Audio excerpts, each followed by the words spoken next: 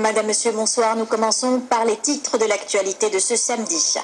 En Égypte, l'armée promet une transition pacifique vers un pouvoir civil élu. Le gouvernement nommé par le président déchu Hosni Moubarak avant son départ reste en place provisoirement.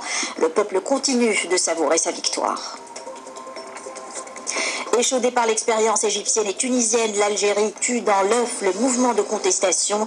Une manifestation demandant le changement du système a été dispersée par la police à Alger. La Ligue des droits de l'homme algérienne a fait état de centaines d'arrestations. Dans la page médicale de ce journal, nous parlerons du don d'organes, une pratique qui suscitait il y a encore quelques années la réticence des instances religieuses. Le CHU de Marrakech organise une rencontre pour sensibiliser à ce sujet. La palette fauviste est l'inspiration abstraite d'un artiste peintre français à la fin de ce journal. Renaud Aliran expose ses toiles à la galerie de la Croix de Tanger.